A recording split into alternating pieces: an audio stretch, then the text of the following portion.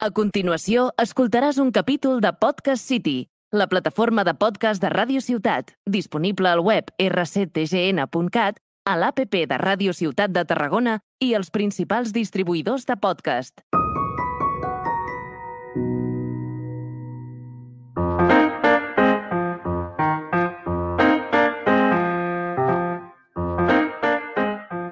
El podcast de Aspercam.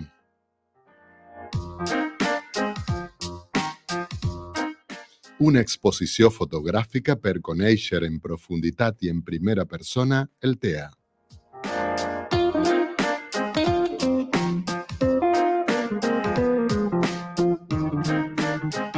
Benvinguts a un nou podcast d'Aspercam. Avui estarem parlant sobre un projecte desenvolupat per l'associació que es diu Reseteja. De què es tracta aquest projecte? Quina incidència ha tingut en la comunitat? Parlarem en un instant sobre això. En el programa ens acompanyen Cati Picó i Oriol Mitjà, psicòlegs d'Aspercam especialitzats en Asperger TEA, i Laura Recha, mare i directora d'Aspercam, i qui parla, Alexander Hernández, de la Junta Directiva d'Aspercam.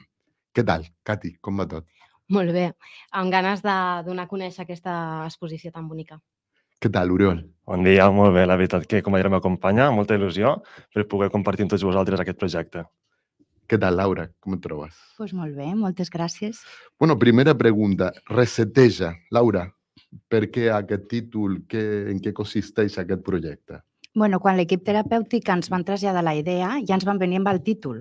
Llavors ens va encantar. De seguida vam dir, ostres, estem donant un doble missatge a la societat, no?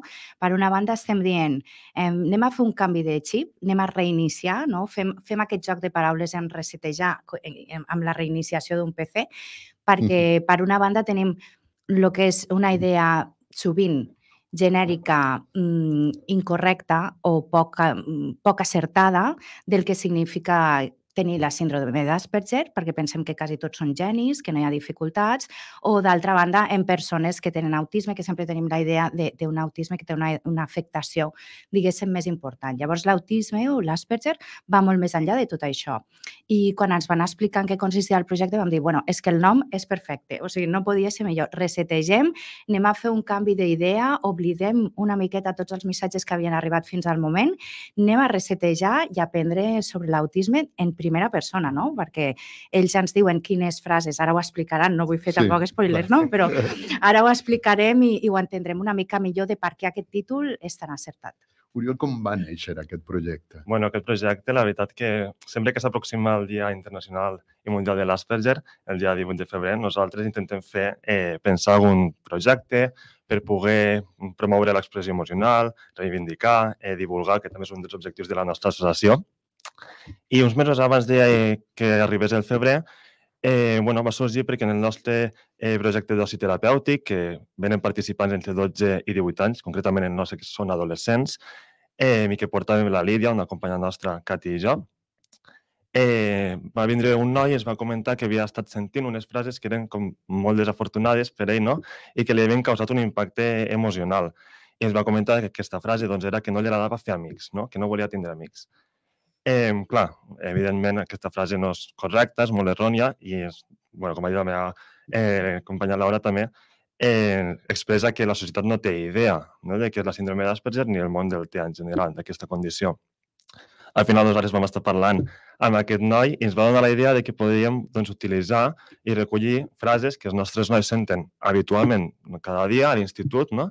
i que al final eh, són frases que la societat té apreses per algun motiu i que no són correctes i volíem trencar en aquests mm, mites, aquestes frases, com ha dit Laura, i donar-li un, bueno, un nom molt potent, com és Reseteja, per poder fer aquest canvi no, de, de mirada ja. I doncs a partir d'aquest moment eh, va començar de que nosaltres vam començar a preparar les frases, vam recollir-les a través de les mm, activitats que fèiem d'oci amb els nostres nois i principalment eh, aquest va ser el naixement del projecte. Després ja vam anar veient com anàvem conduint amb tota, amb tota l'associació i per poder fer que el missatge arribés a, a tothom, però sobretot per promoure i implicar també en primera persona als nostres participants de, de l'oci terapèutic. Cati, com es va dur a terme, diguéssim, tota aquesta... Va partir d'una idea de, a vegades uno pensa que una frase no significa res, que te diuen alguna cosa, pues no, no passa res, però una frase pot ser molt potent no? per, per una persona quan l'arriba. Claro, eh, nosaltres moltes vegades en teràpia, en individual, ens trobem que aquestes frases estan super arraigades. Llavors, s'han de treballar moltíssim a partir de l'autoconeixement. També la desinformació al final eh, ens porta en aquestes frases, no? Eh, I una altra cosa que volia afegir, a part de, del que ha dit l'Oriol, és que van trobar molta facilitat en trobar frases. És molt dolorós, això. Que van sortir nostres... molt ràpidament. És que molt ràpid. O sigui, eren 30 frases eh, que van tardar una hora. Sí. No, no, no sé si va arribar. Vale? Llavors, això també és una cosa que crec que han de tenir molt en compte. Llavors, eh, a partir d'aquesta frase, no, eh, van dir, bueno, ja teníem pensat fer alguna cosa per al dia del síndrome d'Asperger, sempre ho fem, eh, més que res perquè és això, no? és un dels objectius eh, de l'associació. I, I vàrem pensar, vale, doncs anem a fer alguna cosa, però anem a que cridi, a que sigui reivindicativa, no? I sobretot que no només es quedi dins d'aquell esplai terapèutic. Llavors va ser parlant la Laura i la Laura, bueno, li va encantar la idea i va ser com, vinga, va, anem a buscar subvencions, anem a buscar-ho tot el possible i anem a posar molta energia en aquest projecte perquè estàvem veient que era molt poderós, que després, amb el temps, ens vàrem adonar compte de que era molt més poderós del que nosaltres pensàvem, no? Però, però bueno, això. Llavors, eh, pensant en com ho podíem gestionar, eh, clar, els nostres nois també són molt visuals, llavors pensaven que necessitàvem eh, més d'aquesta part visual, no? i vaig aprofitar que ma germana és, és fotògrafa, llavors la vaig fer venir de... fotògrafa, eh? La vaig fer venir de Mallorca des d'aquí. Com es diu la teva germana? Varínia Picó. Vale? Llavors, bueno, us envia una abraçada molt forta. Igualment. Igual. Segur que ens escoltaran. Sí, bueno, ja, ja li passaré. eh, llavors, eh, bueno, això no ha pogut venir avui per, per, perquè estava d'exàmens, pobreta, però, bueno, eh, ella em va donar com el seu punt de vista, com ho podien gestionar, no? com quedarien bé les fotos, i bueno, després us explicarà més l'Oriol, però al final va quedar molt bonic. I sobretot era això, o sigui, que no es quedés únicament en aquella sessió, no? que pogués expandir-se una mica més. Oriol, i com van ser les sessions? Com, com van rebre els nois, diguem, la proposta de, per una part, les frases i per altra, la imatge, no? Mm -hmm. Bueno, al final la proposta a, arrel d'aquesta eh, frase, nosaltres ho vam parlar, com ha dit Cati, i després ho vam explicar en una altra activitat de, de l'oci terapèutic. Als nois els hi va agradar moltíssim, perquè al final eh, bueno, és una cosa que els hi passa diàriament no? i que té un impacte emocional que no se li dona importància i, i al final ells després venen a les sessions, ho parlem, ho treballem i ens donem compte de que el foco del problema és d'aquesta desconeixença a nivell social. Clar, nosaltres encantats de que els participants estiguessin tots d'acord. Eh, com a Cati, vam voler fer més visual perquè al final el que volem és que eh, arribi la frase no? i l'impacte emocional que pot suposar eh, aquella frase la persona, a més de després la descripció que van fer eh, trencant la frase. No? A més a més, alguna mare d'algun noi de l'esplai em va dir bueno, que va ser com a molt alliberador, perquè mm. quan ho compartien deien, ostres, no me la diuen només a mi, aquesta frase, doncs també, o sigui, té la seva part trista de dir, ostres, doncs aquí hi ha feina per fer, per deixar-les d'utilitzar, però entre ells va ser com alliberador de dir, ostres, a mi també me la diuen i a mi també, i compartint-ho, i no és només a mi, no? Estic veient que és més un problema general i més que va acompanyat d'un diagnòstic i no de la meva persona. No estic fent res malament, no? Llavors això també va tindre una, una part terapèutica molt bonica.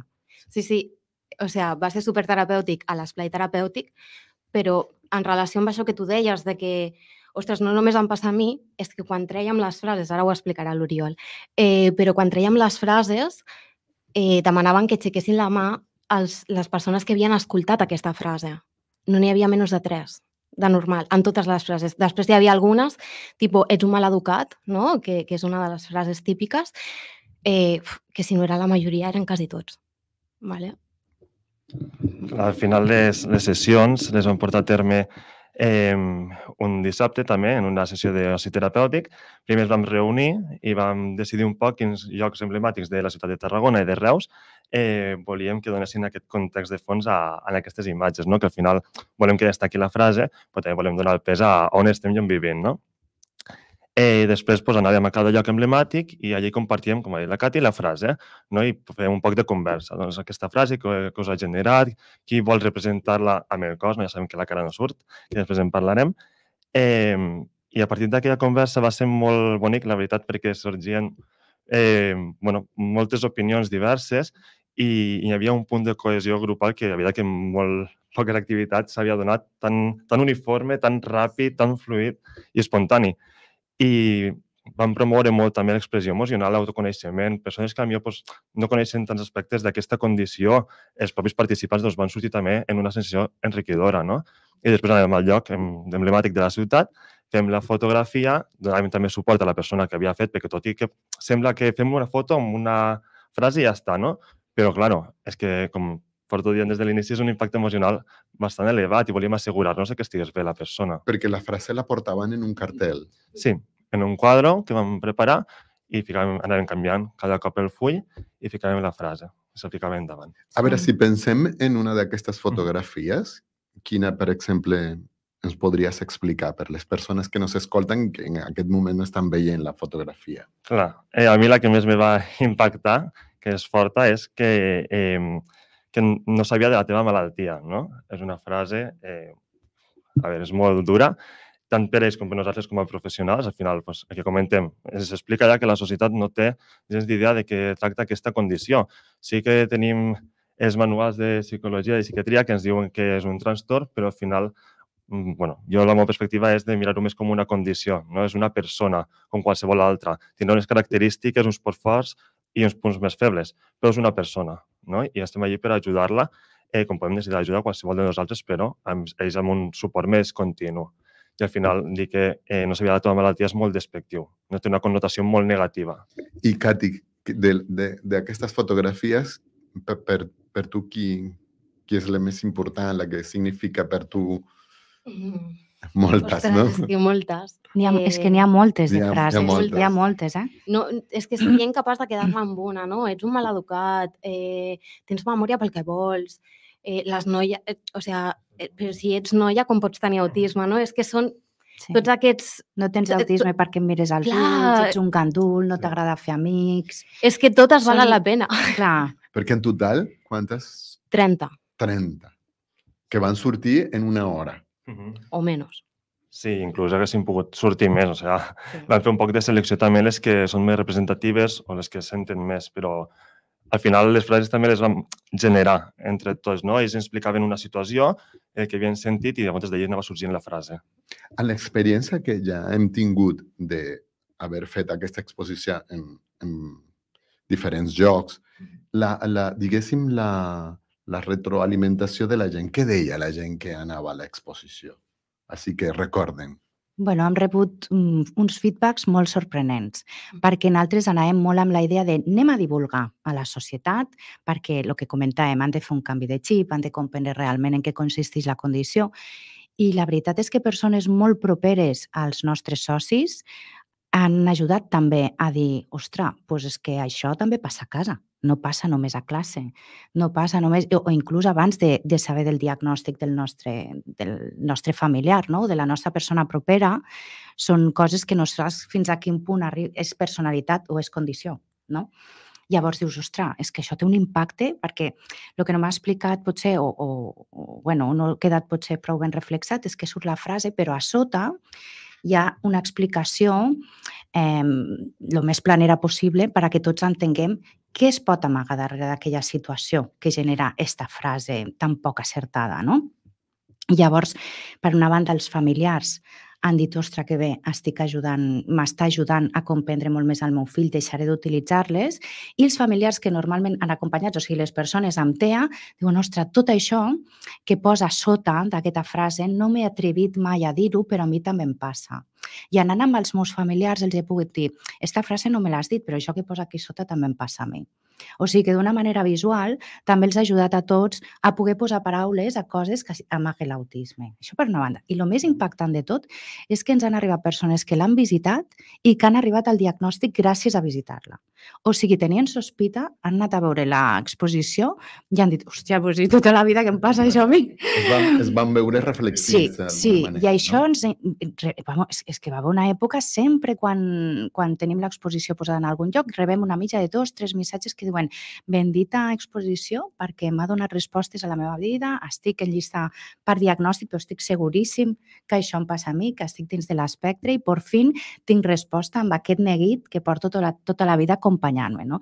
Llavors, clar, ha tingut un impacte terapèutic brutal. O sigui, el nostre era anem a divulgar realment en què consisteix la condició, anem a, a intentar evitar que se segueixin utilitzant aquestes frases, però és que ha tingut, és, és realment un material mm, que té contingut eh, pedagògic, no? pedagògic i, i terapèutic, sí. sobretot. És molt, molt potent que ha sortit del, dels propis nois, no? Uh -huh. Estem parlant nois de quina edat? D'entre 12 i 18 anys. Tenen. 12 i 18 Sí, jo volia afegir el que ha comentat sí, sí. la Laura, que al final ha tingut un impacte molt general a nivell de societat, no? Però també a, en sessions a nosaltres, la veritat que quan tenim que treballar amb la pròpia persona que és l'autisme, que és l'Asperger, eh, és un material molt bo per també aproximar-nos més a ells i durant les sessions que vam estar realitzant a nosaltres ens va ajudar molt a més aproximar-nos a la realitat que viuen. No? Ja com a professionals crec que va ser molt enriquidor per nosaltres perquè és diferent el que treballem a sessió del que vam poder veure en aquella sessió fotogràfica que vam mm, escoltar i que vam poder aprendre. Un, un tema que, que, que vist en l'exposició és que eh, no surt eh, no surten els caps dels, dels nois i de les noies, no? sinó que és el cos. Això per què? bueno, per començar, vàrem fer una pregunta que era vol, voleu mostrar la cara, no? Clar. Que és com a molt bàsica, però que s'havia de fer. Llavors, no tots volien mostrar la seva cara, com és normal, perquè existeix un gran estigma davant d'aquesta condició, no? Llavors, si posàvem la cara, eh, segurament haguessin estat senyalats aquelles persones eh, dient, ah, bueno, pues, jo què sé, a, algú de classe pues, podia dir, ostres, pues, si tu estàs en aquesta exposició significa que tens autisme. Llavors, desgraciadament, ens, eh, els hi tracten diferent. Llavors, també, per una part, volíem evitar això. Eh, el que és la confidencialitat, especialment. ¿vale? I després tampoc volíem donar com aquella importància a la persona que hi havia darrere. O sigui, era molt important que sapiguessin que hi havia algú darrere escoltant aquesta frase, però eh, no cal saber qui és, sinó que hi ha darrere una persona, un col·lectiu, que està rebent aquests inputs eh, des de fora. I a més a més és una representació genèrica. Jo recordo també quan, quan vaig veure les fotos, no, que ho vaig preguntar, i, i em vau dir de és que tenim por de les repercussions que pugui haver. I a part és una exposició que, bueno, porta dos anys voltant. Nosaltres pensàvem que només s'exposaria el dia del, de l'Asperger a l'abril, al febrer del 2022 i no pare de voltar i seguirà voltant i igual en un moment determinat pot ser que ells volguessin donar la cara, però l'exposició segueix i la seva vida també. I, I es troben en diferents moments de la seva vida i sempre té uns riscos aquesta exposició fins que la, la societat no estigui suficientment madura. I ja per acabar, aquesta exposició es pot veure? bueno, pues jo t'explico on s'ha vist fins ara, si vols, i t'explico on es veurà properament. Es va inaugurar, com acabem de, de comentar, al pati Jaume I per celebrar i commemorar el Dia Internacional de l'Asperger, perdó, és que com que som autistes i som Asperger, ens fem una mica d'embolic. Val, el 18 de febrer del Això, 2022, a sí, a Tarragona, l'Ajuntament, al pati Jaume I. Després va anar a la Biblioteca Xavier Amorós de Reus, D'acord? Al cap de poc temps va començar a voltar per tots els centres cívics de Tarragona, també ha estat voltant per centres cívics de Reus, també al Centre Cívic Estació del Vendrell, a Hospitalet de l'Infant, a l'Hotel d'Entitats de Roda de Barà, ara en breu, a l'Ajuntament d'Altafulla i properament a l'Ajuntament de Salou. A l'Ajuntament de Salou. Sí, això sí, està previst per l'abril, sí.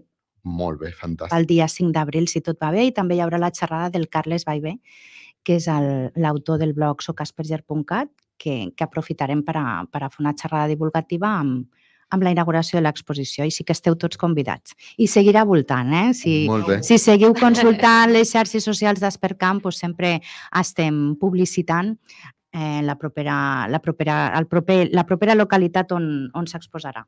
Bé, doncs ja és moment d'acabar aquesta conversa. Us convidem per a un nou episodi del podcast d'Aspercamp, on els proposarem un nou tema relacionat amb l'autisme i el treball que realitza l'associació Aspercamp del Camp de Tarragona. Fins aviat, moltes gràcies, Oriol, Cati, Moltes gràcies. Laura. Moltes gràcies. Gràcies a vosaltres, a Ràdio Ciutat.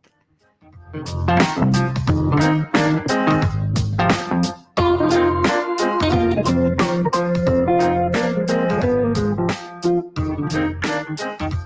escoltat un capítol de Podcast City, la plataforma de podcast de Ràdio Ciutat, disponible al web rctgn.cat, a l'APP de Ràdio Ciutat de Tarragona i els principals distribuïdors de podcast.